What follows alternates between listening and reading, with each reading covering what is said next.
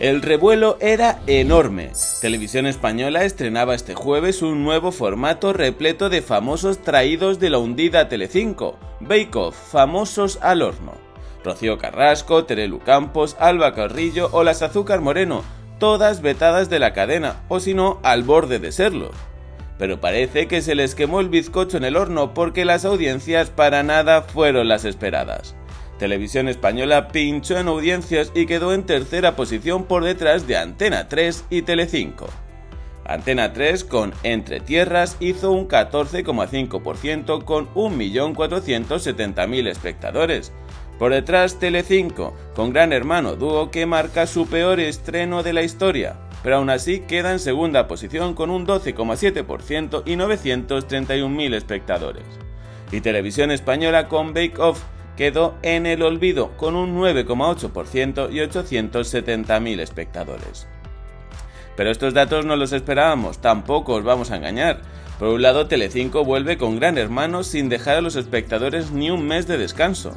Y por otro lado, alguien de televisión española decide que es buena idea recoger todo lo que no quería Telecinco y que le hizo hundirse en audiencias para intentar sorprender con un concurso que lo único que tenía de nuevo era la mermelada rancia que hizo Rocío Carrasco.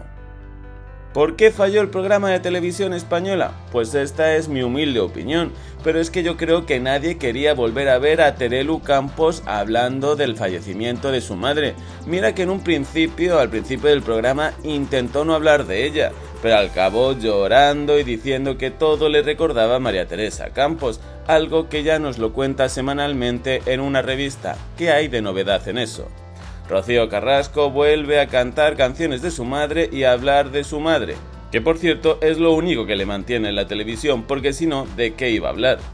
Sinceramente, creo que el resto de concursantes son buenos, son atractivos, son caras diferentes, creo que pueden llamar la atención, pero como siempre el protagonismo se lo dan a las mismas de siempre, que opacan todo lo nuevo que nos pueden aportar esos nuevos personajes que llegan a Bake Off.